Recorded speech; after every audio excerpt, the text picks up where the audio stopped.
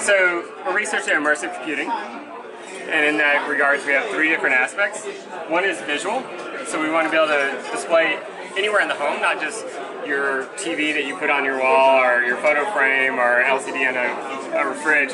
You should be able to take any ordinary device, whether it's your wall it's a centerpiece bowl. I should be able to display on those. The second part of that is interactivity. So I should be able, to, if I have these display surfaces, I should be able to interact with them. And so here we're showing on a curved surface, we're able to calibrate to the display of it and uh, provide interactivity to it. Same with the wall, so I could send photos from here to the wall and they'll come in on the side over here.